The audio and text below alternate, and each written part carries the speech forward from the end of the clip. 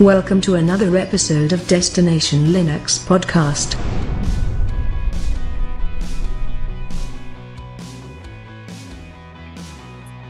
Welcome to episode 37 of Destination Linux. I'm Rocco, and with me today is Ryan, my partner in crime. And we have some special guests. Who do we have, Ryan? They are indeed special guests. We have two core lead team developers from the Manjaro team, Philip and Bernhard.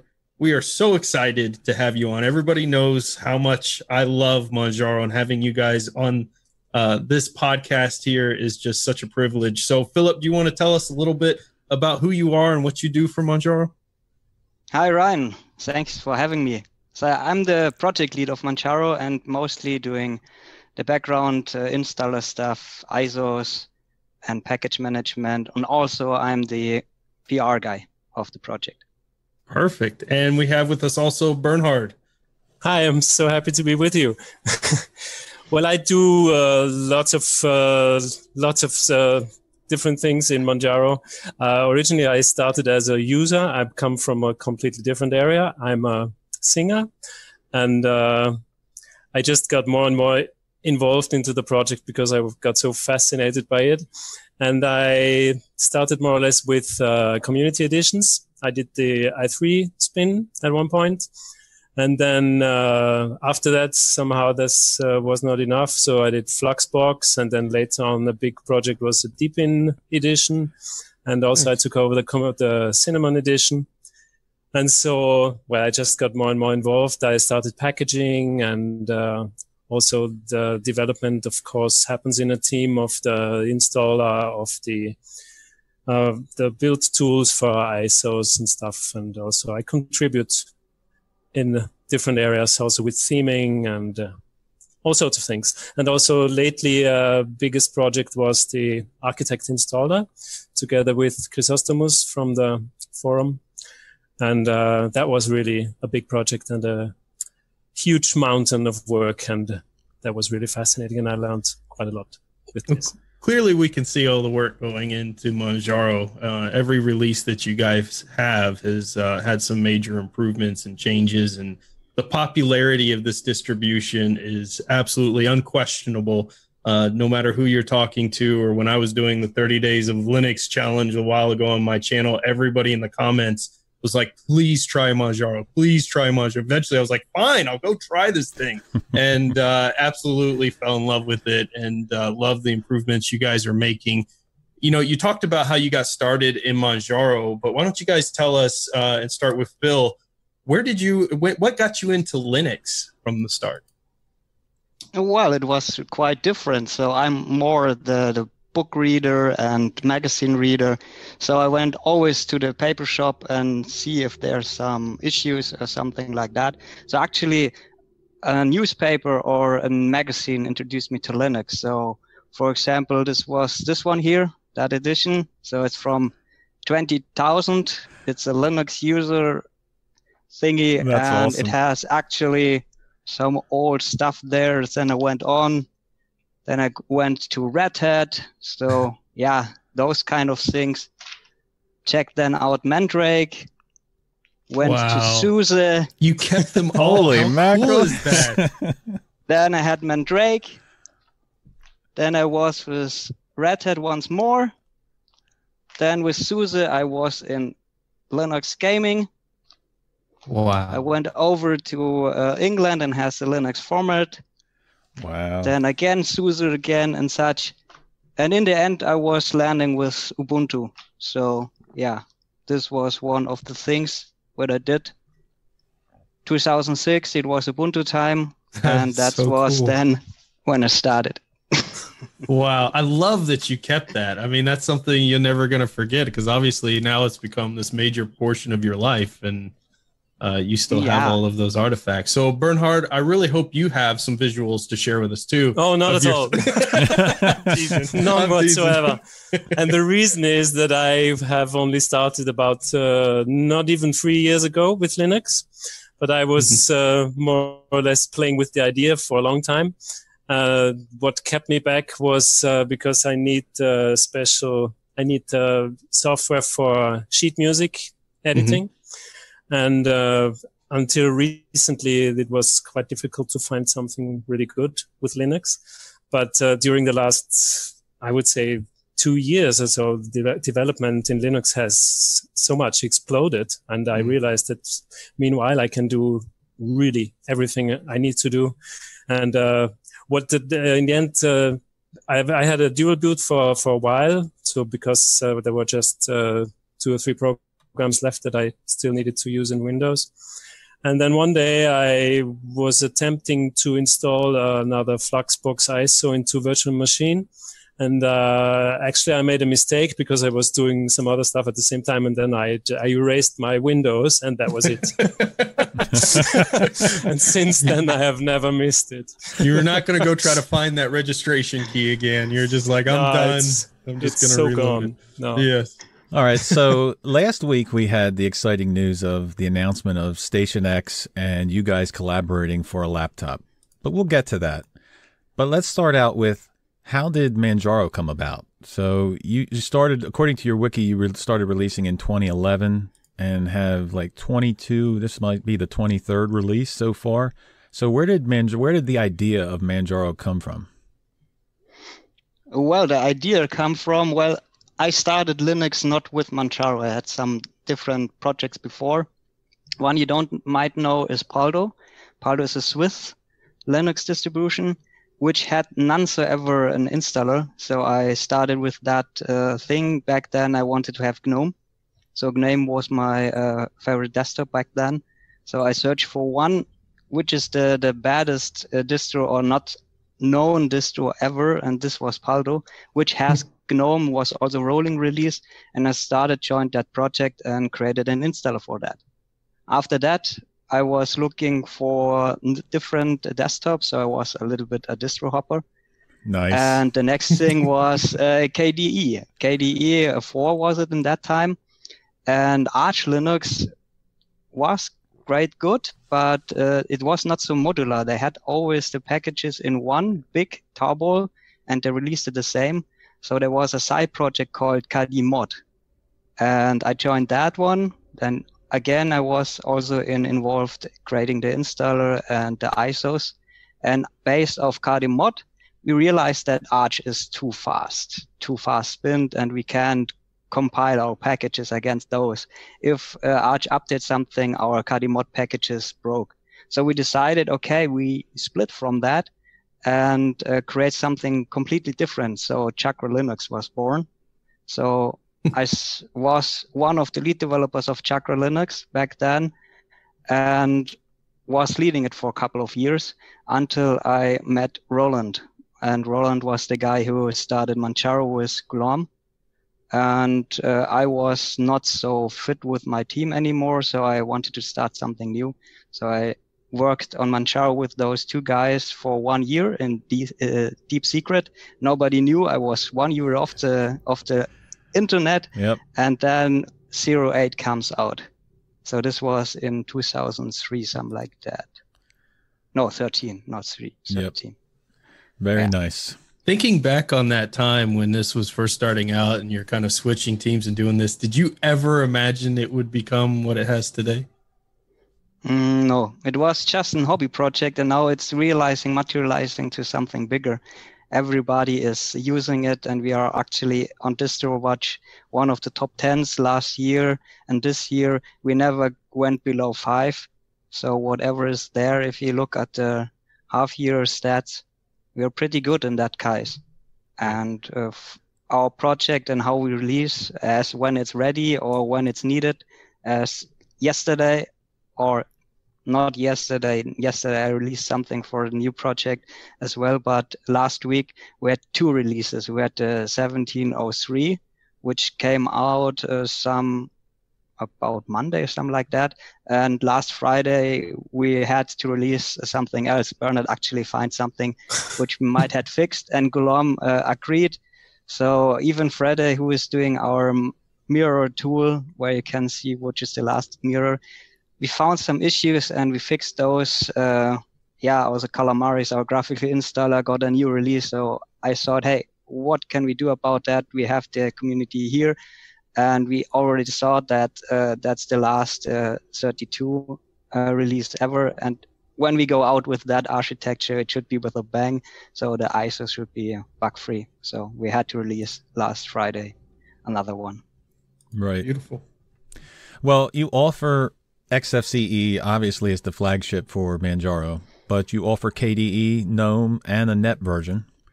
And you also have community editions, Cinnamon, i3, uh, Mate, and OpenRC. And you also have derivatives that are made from made based off of uh, Manjaro, which are Netrunner and Sonar. So your your popularity has grown. So how does that all fit into like how do you feel Manjaro differentiates itself from everybody else? Because obviously well, it's a popular distro. Hmm. I would say this huge variety of desktops is one of the biggest strengths of Manjaro. We had lots of discussions about this actually because the, often uh, it was the point, well, should we concentrate more on just a few desktops and not uh, split up all our resources to too many, too many different ISOs and uh, settings packages and whatnot. And uh, but uh, just this uh, this recent bug we found. It shows again how good it is to actually have many different environments because actually we found it in uh, in the release candidate of Cinnamon edition, and then uh, first we thought it's a Cinnamon issue, and then uh, turned out it was actually something that needed to be fixed in all the editions. So I think it's really, and also what is exciting, I think that with the community editions there are even a few more than you have mentioned. We also Deepin. Yeah, he missed the Budgie. We have Mate, Budgie. We ran out of space on the Budgie. yes. So basically, yeah. Uh, yeah, but also we we like that in uh, in the forum. We in the forum we're kind of building up a, a knowledge base also uh, regarding the the environments because you have one uh, maintainer of a, of a community edition, and then uh, you have the, some favorite users of a community edition and they, they come together and they find solutions and they uh, find new ways and uh, tweaks and stuff. And so for example i3 is one of the older community editions. And in those i mean we have really a extremely polished version of this environment. And uh, i think it's mostly because we have uh, a growing group of, of users for also these editions. And uh, it just it comes together and it grows. And uh, over time the core desktop stays the same. And then we have additions. We have contributions of scripts and whatever. And so i think it's really uh, a big plus that we have so many different editions. Of course it's we're not really a huge team. And uh, yeah it's sometimes i mean we're we're all doing this as a hobby and of course right. all of us spend a lot of uh, far too much time for all this. Obviously yeah. Because actually yeah sometimes. Well let me ask you because you guys were talking about all the different desktop environments. Which ones are you guys using maybe right now? I'm sure you switch back and forth which one are you using right now Bernhard? I'm uh, i cannot get off i3 somehow. I mean, I'm actually at the moment I'm also on the Spitfire, and of course I have the XFCE edition that we have been preparing and tweaking for many weeks now. But I could not resist to also have install a second user with i i3 desktop, and I actually I'm on the three i3 desktop now also. It's just so I'm so used to it, and I just love it so much. It's for me, it's uh, the most efficient way to work for me. What, what about you, Philip? you can guess I'm always with a flagship. nice. you do well, not I'm, deviate.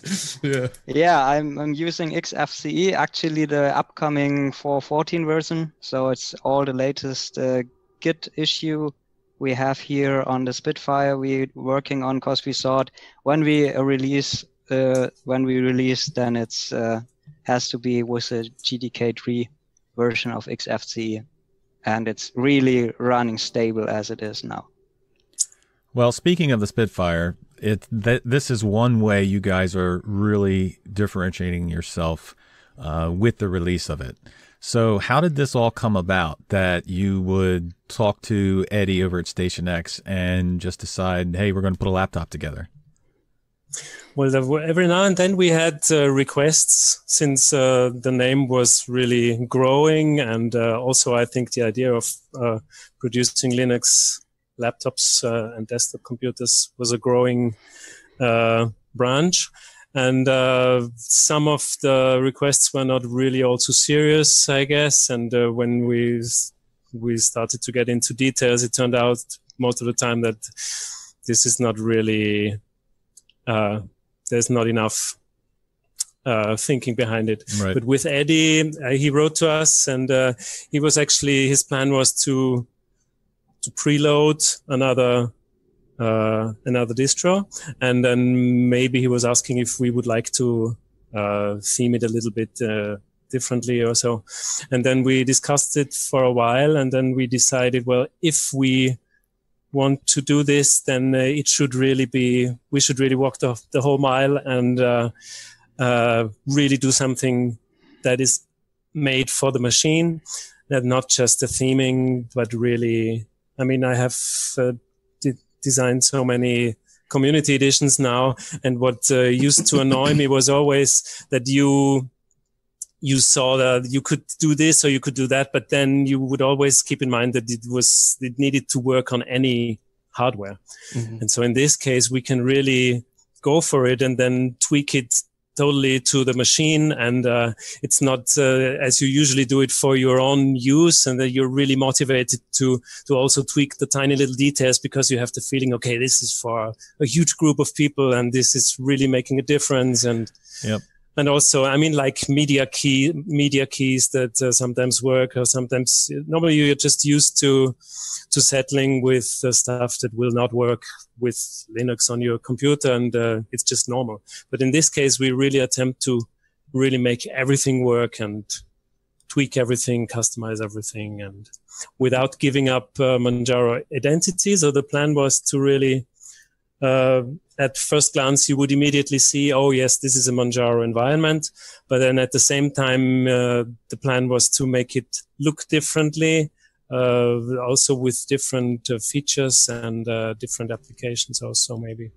And yeah, custom made for the machine, even down to kernel and to the BIOS and governor settings, schedulers and stuff. Well, first, so we really want to thank you guys and also Eddie um, for allowing this to be the platform that you guys announced this. And it, when we were on with just Eddie and he was talking about the Spitfire by itself, he knows I was wiping drool half of the a half of the podcast because it's just such a beautiful looking laptop as is.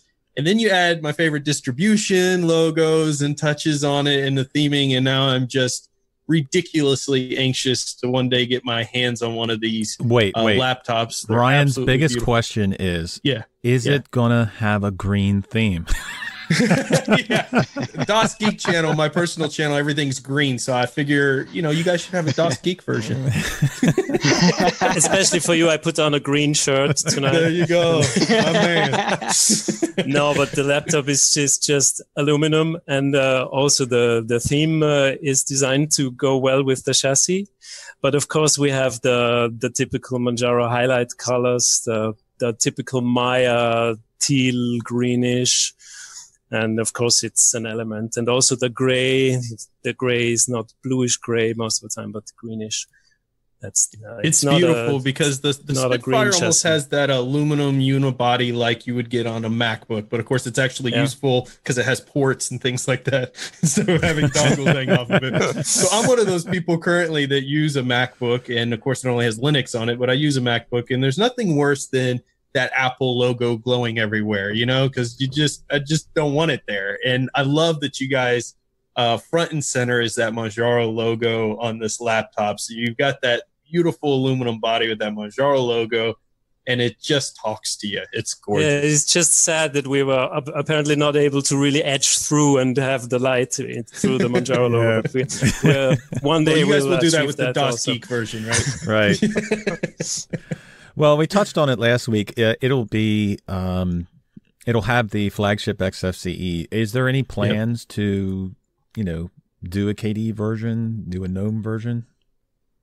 Well, it depends how we will uh, finalize the XFCE edition, and sure, we are also thinking about KDE or GNOME edition as well. Because if we have one profile finished and the basic settings are always the same, then we can easily adapt that to the other ones. But we decided with Eddie which desktop is most current, which desktop we can use, which we don't have to tweak too much, but have it there. And though we decided to have it on the XFCE because it is a slow development, but under the hood we have a rolling release, and having something consistent with an uh, laptop which is also stylish and uh, have some worth to it if you look at it xfce was a perfect match for it yes but uh, when we grow when we see how many machines out there and people might install different uh, desktops as well because we have the variety of those in our uh, distribution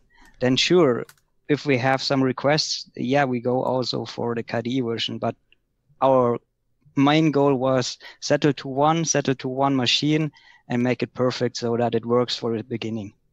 And if someone tries to install Windows on it, I hear it auto self destructs. yes.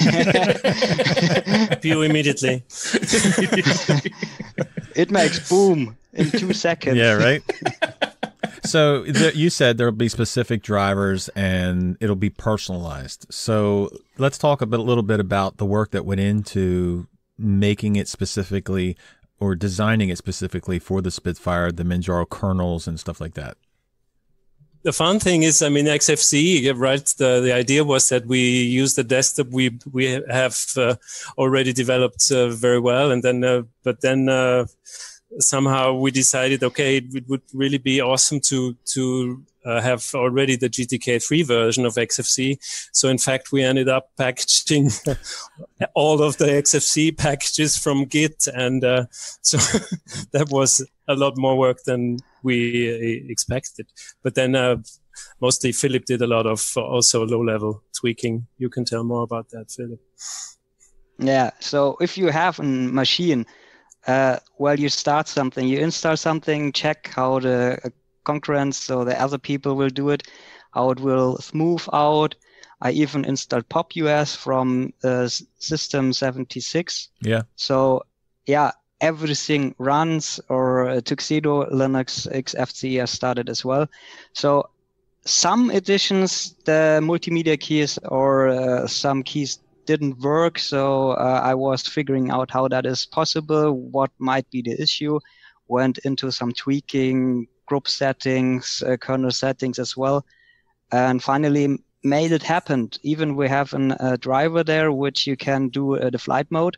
So if you pop that button, Bluetooth and Wi-Fi will go off. If you pop it again, it will automatically start and log in again. So even so, each button is there to work and it works. Very nice. Awesome. So, will this have separate repos than the normal Manjaro repos, or will they be? Will it all be the same? No, we have some custom packages, but they go in the regular repositories, and uh, so it just updates with everything else. Theoretically, theoretically, every Manjaro user could install the Spitfire edition also, but of course, it doesn't make sense. Right. Could the driver is there and all the packages. Some just have a different name, like uh, XFCE SX setting or something like that. But they are just. Uh, there was also.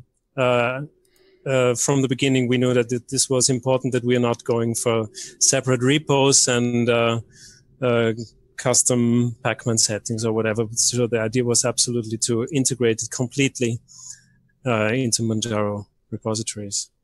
So when will the lucky individuals who are in the areas you're shipping to be able to get their hands on this masterpiece here? Really? So okay, it's uh, what was it? The 13th of October you can pre-order. That's right. Yeah, I think so. Mm-hmm. Yeah, and end of October we will ship the first uh, builds. Don't think so, I didn't think about trying to cheat. I knew those dates and could validate for them. So I was like, and make it look like I'm from Germany. Have them ship it to a friend, then forward it to me. Yeah. hey, you can visit us and pick it up. there you go. All right. So pre-order start October 13th, and then you'll start shipping them at the end of October.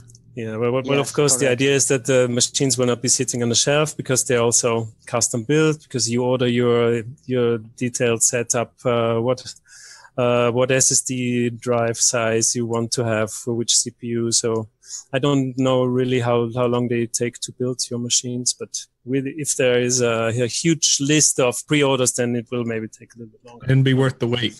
Definitely be worth Yeah. the So try to be one of the first. Yes. Well, we, we try to build them in three to four, up to five days, something like that is the building time, as I knew from Eddie. And since we already started on the 13th and we want to uh, ship it end of the October, some of them should be finalized as well. And yeah, we will meet up uh, for the final product in London as well. So me and Bernhard will fly over and we'll see the first products which are finalized and make some videos, do some demo talks and such. So we always check the product from uh, the beginning to the end. Yeah. So that's how we do uh, quality management as well.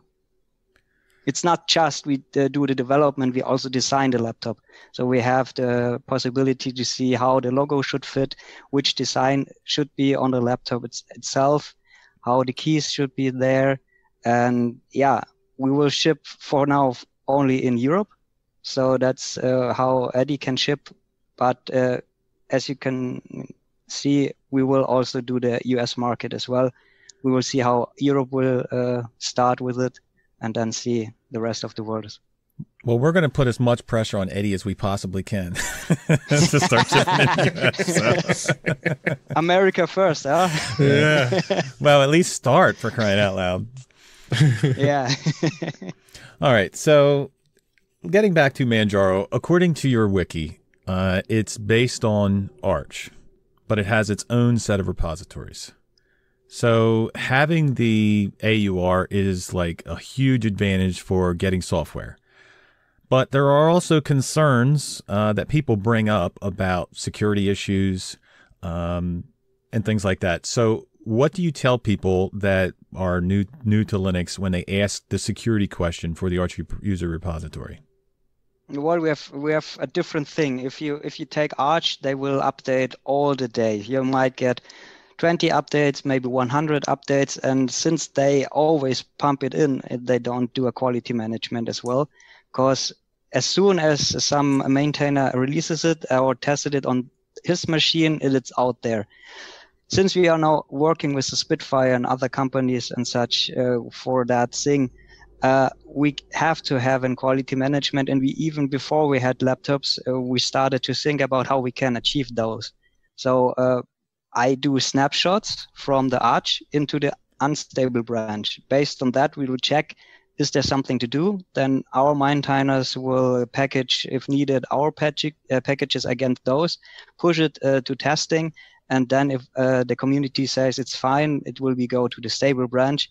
And uh, with the Spitfire, we always test each uh, update beforehand and say, okay, it's green on the Spitfire, and now we can move it. Uh, this is what we will do in future to have a more qualified update release cycle as we have now also uh, customers with products and if we have uh, some issues on the machines it might make no sense. And for the uh, security packages yes we have the different branches and for each branch if it's needed we will package them separately. So the user has always those.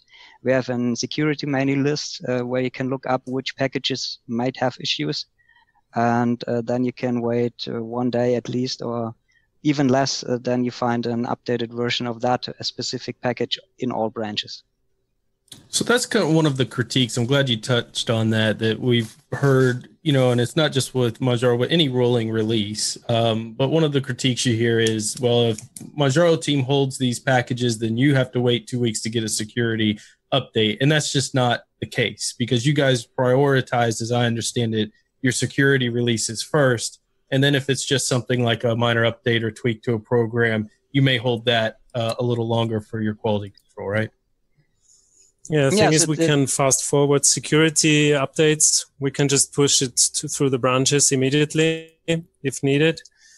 uh, with all the other packages, of course, we have a lot of also our own packages, and it just takes time to to adjust to, like for example, if uh, uh, i if ICU or GTK updates, then uh, a huge pile of packages needs to re- be rebuilt, and uh, we just try to make sure that nothing slips. So it may take a while until we have checked everything and also until the community has checked it. Of course, it's a little stretch between uh, uh, passing on packages immediately, also with uh, compatibility with AUR packages because they are intended to work with Arch, of course, which is two branches below normally.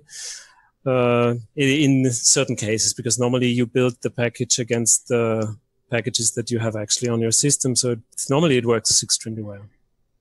So recently I installed uh, XFCE Manjaro Edition because I, I saw that as the flagship. I'm I'm a KDE Plasma guy. I just love KDE, but I hadn't spent a lot of time to check out XFCE, and I was actually showing my desktop off to Rocco, like, look what you could do in here, all the customization options and things there. But one of the things that when I was sharing my desktop with Rocco is I was looking for Octopi and because I was used to seeing that in the KDE version, although I had distro hopped in between, and so then I was going back and I couldn't find it there. Is that something that is unique to just KDE, or was it removed, or am I just really dumb and couldn't find it? no, it's uh, it's uh, the the package manager goes with the toolkit. So okay. since XFCE is GTK GTK based, uh, it's PAMAC because it's a GTK3 application, and Octopi is a Qt application, so it goes well with KDE. So the idea is to not need to install too many unneeded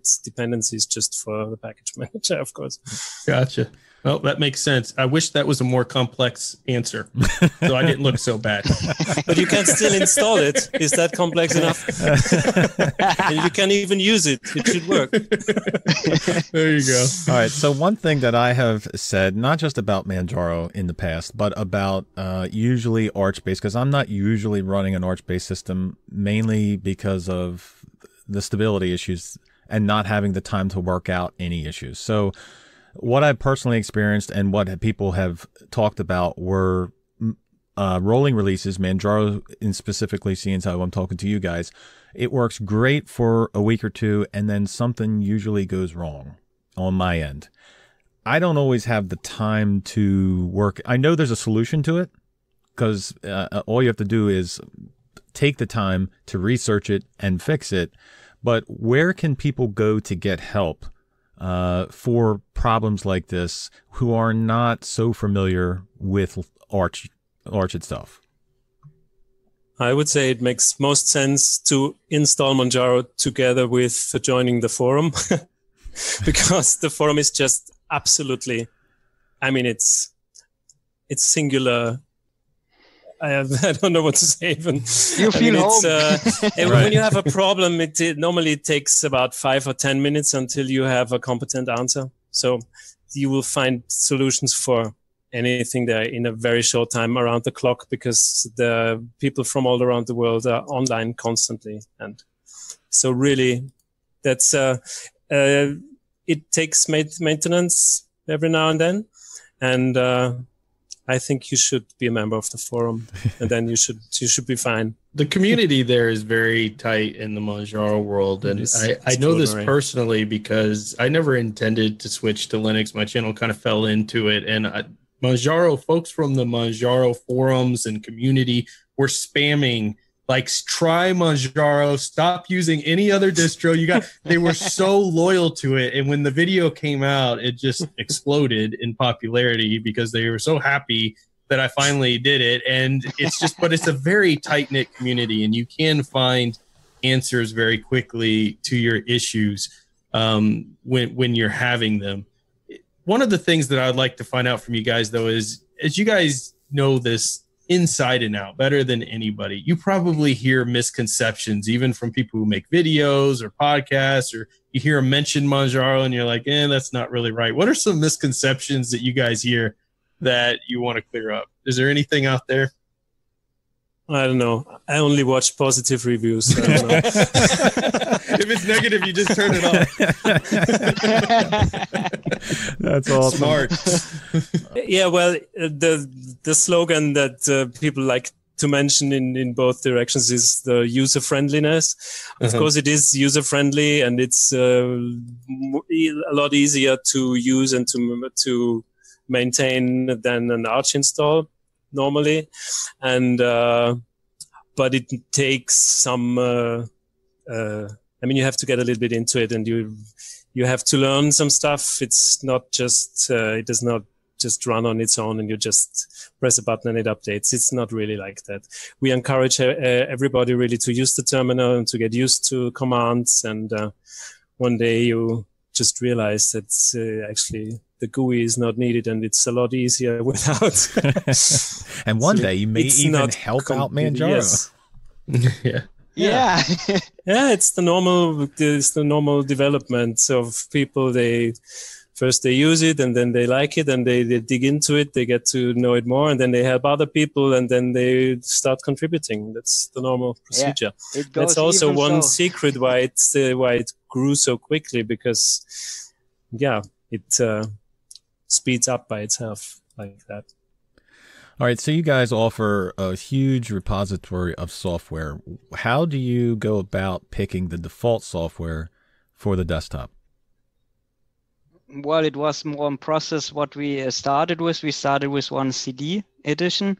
So it was always has to been fitting on 700 megabytes. So this was popular or possible with the XFCE edition. KDE, it was a lot harder to do so, but we managed in the beginning.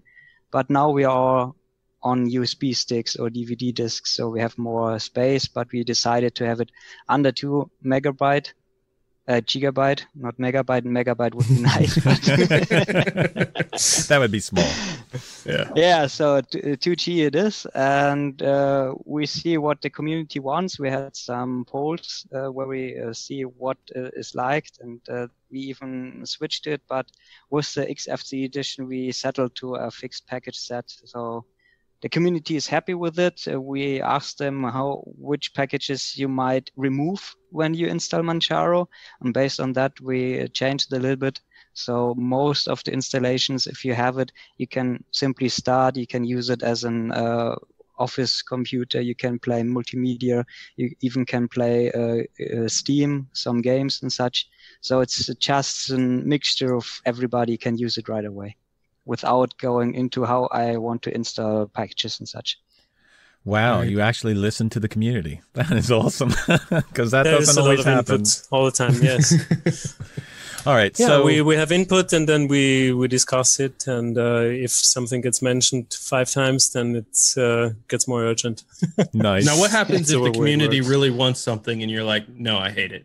You kind of override them, right? You kind of say no. There's no way that's happening.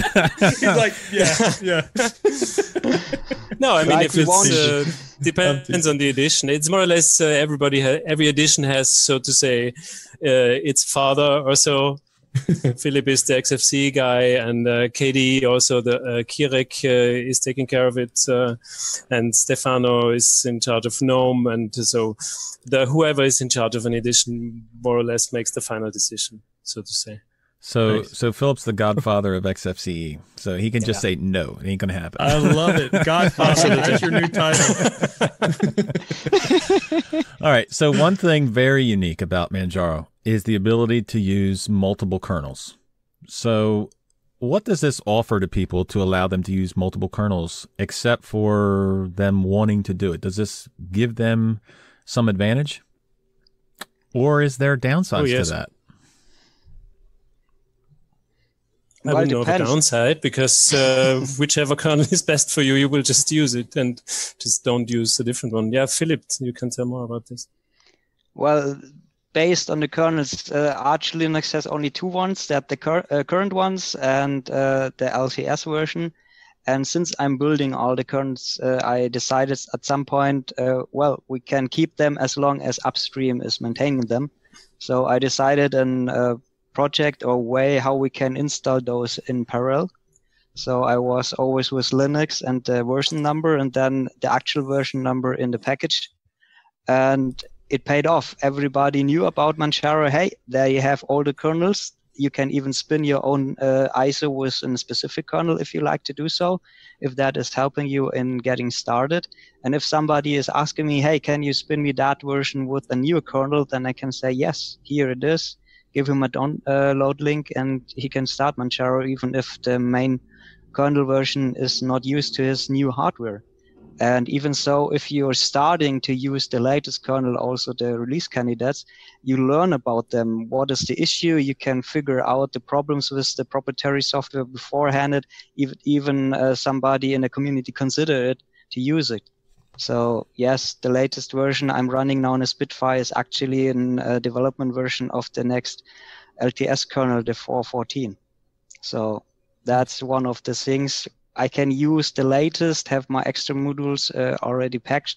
So, and uh, we created tools uh, like uh, Swiss knives. You can decide, you can remove the kernel, you can install it, you can switch it uh, on the boot. It's a your Manjaro operating system, and you have the options, and you can use all of them. That's one of yeah. our purpose, even so with our desktops. Well, something a typical use case for different kernel kernel would also be, for example, I have an, uh, an Acer laptop here, and I'm not able to update the, BIOS because I have no Windows on it, which is really annoying. But then uh, I can use uh, with every kernel newer than 4.1, it crashes every half an hour or so. So I can just stay with 4.1 with for this machine. That's really it's really great because with most other uh, installs, I would not have this option. So this is really helpful. And uh, if uh, I disappear, sometimes it's maybe because I'm currently using 414. when when we started this, I was uh, just uh, only got aware of this and I thought, oh, I hope this was a good idea. Yep. it seems to work. Fi- it seems to work fine, Philip. I always we're good it. now. I We've tested, tested it. it. Well, one of the things I personally love oh. about Manjaro is the compatibility. When I was using Manjaro for the first time, I put it on the most powerful computer I could afford, a GTX 1080, i7 6700K, 32 gigs of DDR4. Like I just maxed out a system that I could afford. And I really wanted to show people Linux is more than just a tool where you can install something on a slow machine. It's amazing for powerful activities. And I think Manjaro was one of the distributions that showed that off the best. It just really, um, it looks, especially with KDE personally, I just felt it really made everything look and flow um, beautifully together. They were in sync. The compatibility was there immediately. And one of the ways that Manjaro really differentiated itself from other distributions I was using is, for instance, in Ubuntu and others, when I would install them, I wouldn't be able to use my mouse or I'd have black screen issues because I'd have to go and manually use my keyboard because all of a sudden the mouse wouldn't connect to go and choose NVIDIA proprietary drivers to finally get my screens back on and all that stuff. But Manjaro has something called the hardware detection tool that allows it to kind of know that ahead of time. And I had to do none of that when I installed Manjaro as far as playing with those drivers and things. So can you tell us a little bit more about that tool and why you guys developed it because it seems truly uniquely Manjaro.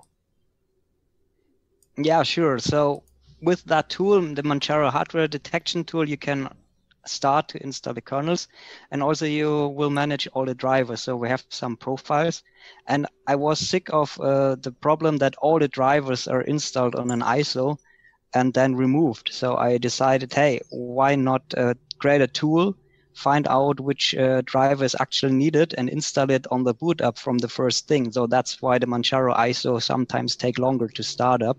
And everybody's wondering why that happened. If you will pop in an Ubuntu, it's there in under 20 seconds, but the Manjaro first startup is always longer. Actually, we install now the specific drivers, and if it starts in the live mode, you can test it out as would be then installed on your computer.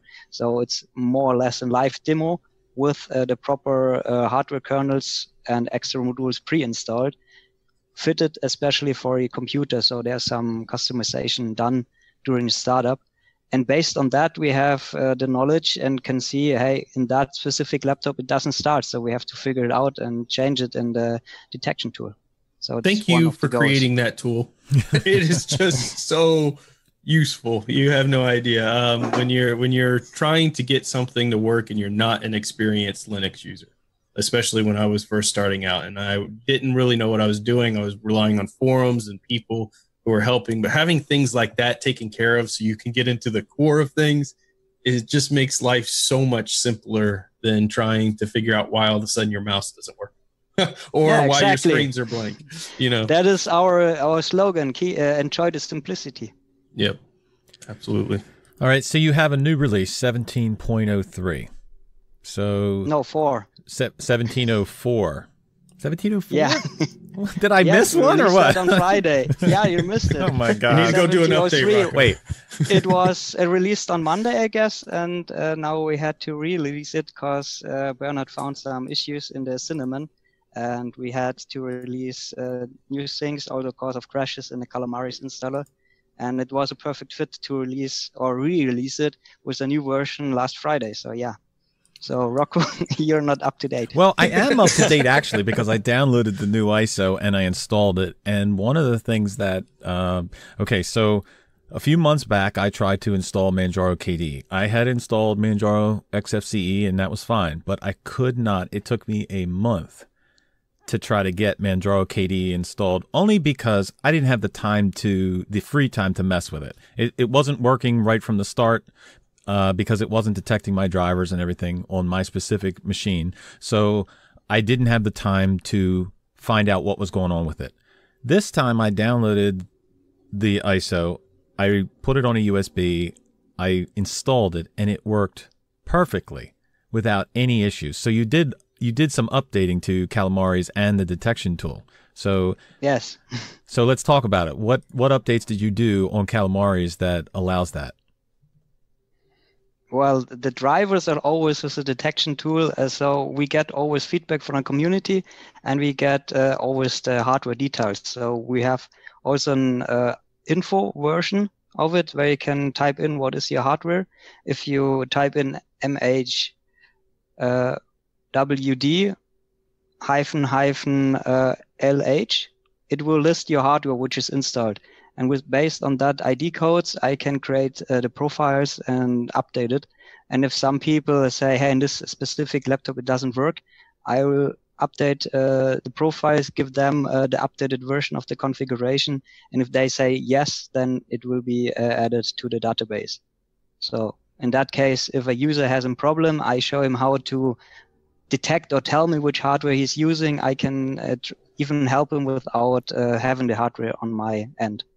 So it's always a nice. win-win situation for that specific user. That's why I need to go to the forum, Rocco. I guess I'm going to the forum after this. yes.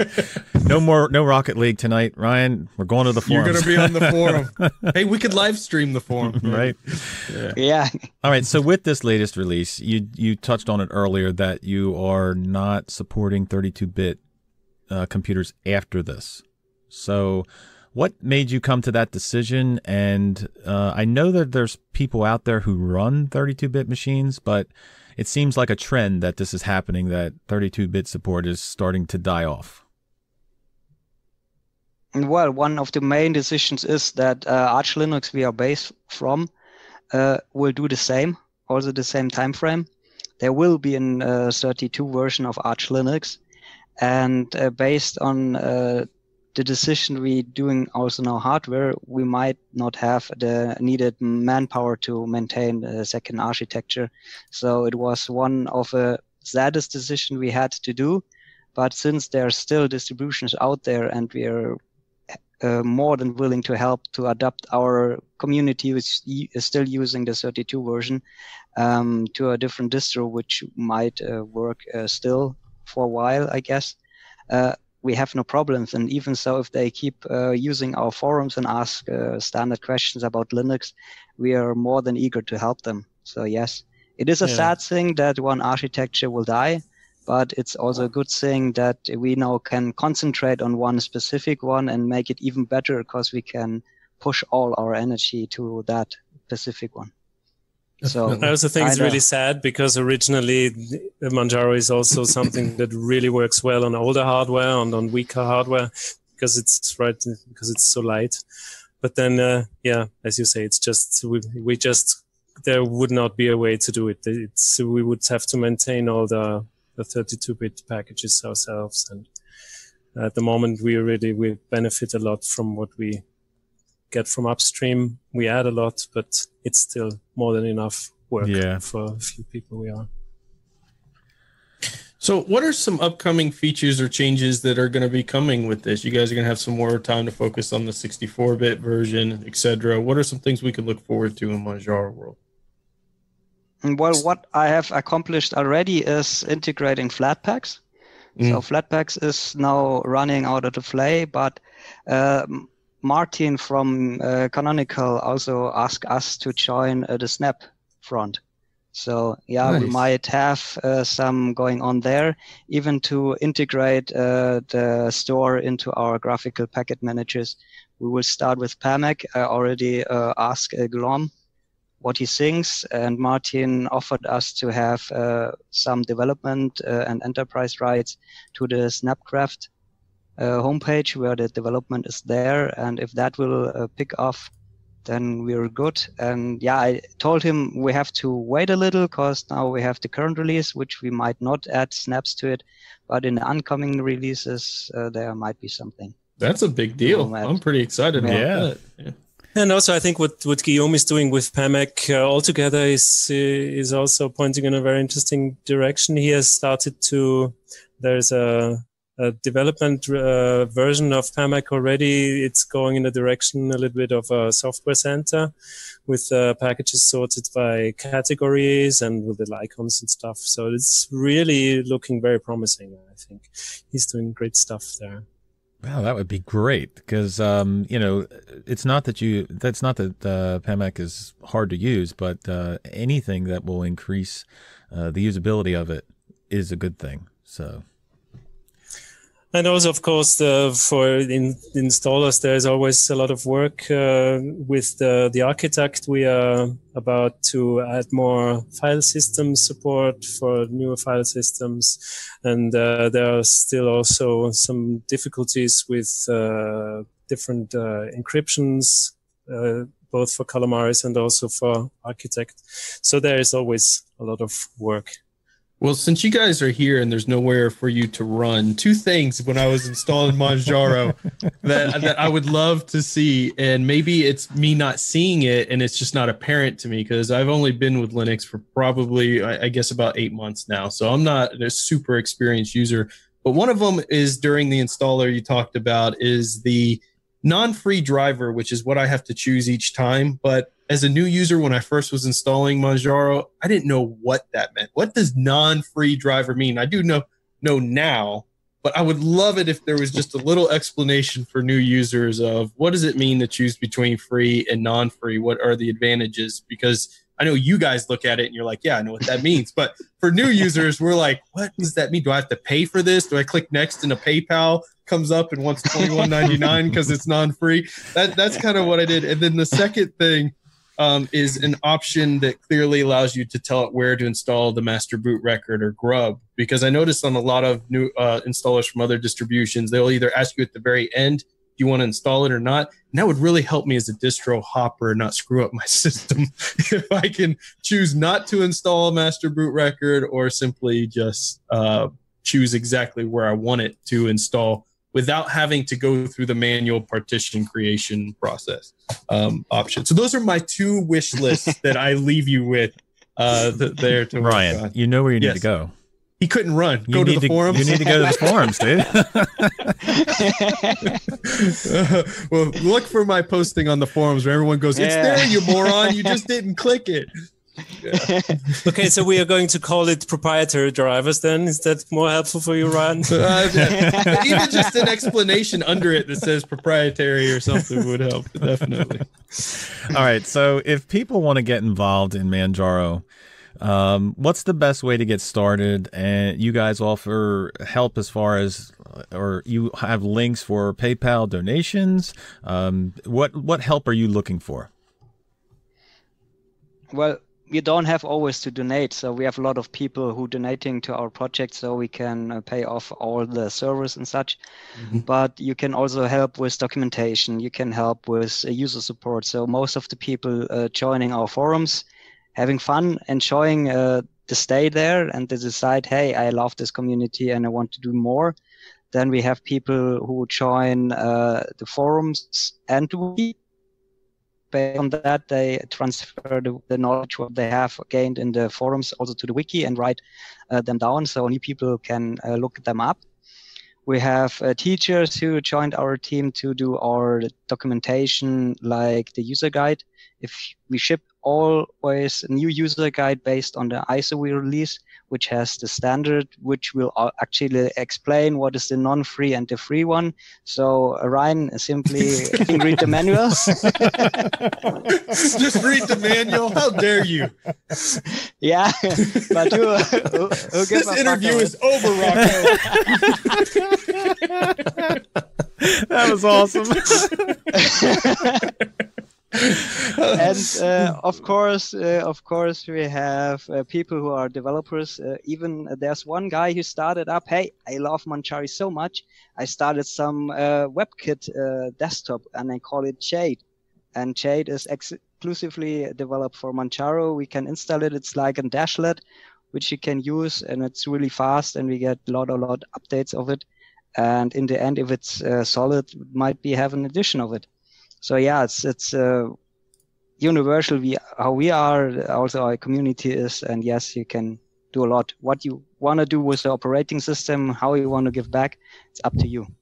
It's a also a great way of contributing is is to use not stable branch but testing or even unstable. So we have uh, early feedback, especially with more experienced users. That's extremely helpful. And uh, but uh, just recently we were saying that it's surprising how how quick the feedback works already. I mean, if sometimes you're not finished with a dependency package and the first one is already uploaded, then you will already see the message, oh, it's not working, there's something broken. that's really real time. yeah. But that helps a lot. And also, of course, we often we lead translations for be it documentation or also for for scripts or installers and uh, also that I mean everybody just does what uh, what he what he likes and what he can do best. Also, for example, designing wallpapers. Uh, people even uh, contribute icon sets sometimes and all sorts of stuff. Very mm-hmm. nice. So, if you want to help out, you can visit www.manjaro.org or you can go to the forums or read the manual. Yes. or read the manual. All right.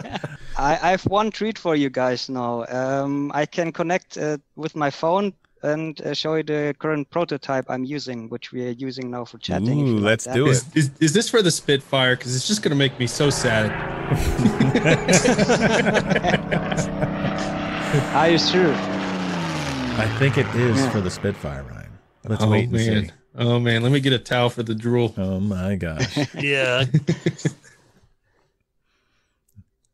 oh, there it is. Oh. You need a halo effect going right? on right now. So if you can see here, it's really really slim. Yep. So I just put it here. So and it has really, ports. Really you don't need dongles. it has ports. so even so, and one of the things here is you have a network port here. Yeah. Nice. It's a network port. Love and it. you see it's illuminated and it's all there. And yes, that's uh, how we will have uh, the final product. Who's that good looking guy on your screen? Oh, that's me. Never mind. yeah, it's a big whoever... shout out to to Eddie once more. He's such a great guy, and uh, yeah. I have never heard someone talking about a computer with all his senses and with so much Passion. love, and uh, the way he talks about how a key feels and how the key travels and stuff, and uh, next time I think he will talk about the smell of, the, of his new machine or whatever. it's just fantastic. Something like that. Yes. Well, Eddie was on last week, and he was an amazing guy to talk to. So uh, much fun, doing so much He's good work at StationX. Yes. So we appreciate everything, guys. It was awesome to talk to you. Uh, we appreciate you taking the time to do it. and keep up the great work. Yes. Thanks absolutely. a lot. All Take right. care, everyone. Bye bye. that was such an awesome interview. I really appreciated the fact that Bernhard and Philip met with us and were able to kind of go into some of the detail that I wasn't aware of. I'm a big fan of Manjaro, as you know. I know that you're loving Manjaro right now that you just installed, but kind of getting that behind the scenes look and then really the privilege of having them and StationX using us as a platform. Just incredible. What did you think? Well, look, it's not often that you get to meet and actually talk with people behind the scenes, uh, lead developers, and people that actually spend their time making this. You know, we we download these ISOs. We're distro hoppers, so we download ISOs all the time, and we think nothing of it to install a new one. But every single one of those, there was tons and tons of time and effort put in by these guys. So it's just awesome to get to actually talk to them and appreciate what they do. And what I love, and, and you kind of made mention to this, is just how human they are. Like the, these guys aren't on forums beating people up, beating people down with their superior knowledge of the internals of Manjaro. They want people to use this tool. They want new people. They want experienced users, but they're con- except for the manual comment. You know, now that I think about it, take all of that I just said and scratch it. No, they were, awesome. they were awesome but they they you could truly see that it's a it's a different type of passion it's great to be passionate and want to use the right terms or have every infinitesimal detail about how something works down that's great that you have that but they don't wield it as a weapon they wield it as a tool to bring more people in to the linux world and i think there's something to learn there from this interview just watching that of how cool and laid back they are and uh, just really fun individuals to interview. Well, the last thing is if you want to help out, go visit the forums. That's all. That's all I got. all right. So we want to thank the uh, Patreon supporters again this week Definitely. because uh, the last two weeks we were unable to uh, put the podcast up the, a day earlier, which we normally do for the Patreon supporters. But because of the announcement last week with Eddie and the problems I was having with the Ike, Ike interview, uh, video rendering, uh, we were unable to do that. So I thank you for your patience. And if you want to support us, you can go to destinationlinux.org and the, all of the links are there, including the Telegram group. Ryan, Yep. you you are in the Telegram group. What do we talk about in there? Well, we talk about some of us show off our cups, like because you know you could go to Teespring too and get some hot destination Linux gear. And Destination I, Linux I tried podcast. something really unique. I, I um compared this to my Yeti, and I find this keeps my drinks cooler. Really? Mhm. Well, I know the coffee tastes better. So if you want some, you can go to teespring.com forward slash destination Linux podcast and you will find all kinds of stuff you can purchase and support us at the same time. So it's much appreciated. Definitely. All right. So everybody have a great week. And remember, the journey itself is just as important as the destination. Thanks, everyone. Thank you for listening to another episode of Destination Linux podcast.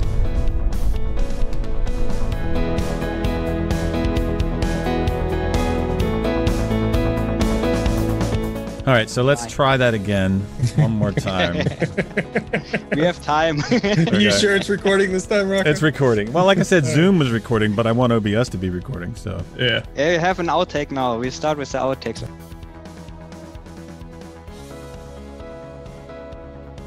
Is there anything you want to talk about before we go? Yes, I wanted to say that uh, uh, the greatest thing for me about Linux is that it's a bubble of collaboration, and uh, regardless of uh, any political, religious, uh, or whatever col- uh, boundaries, uh, borders, uh, we in the forum we just uh, talk uh, to everybody without even knowing where they are from or what what their belief system or whatever is. And that's just amazing. I mean this is really the way the whole world should function i think.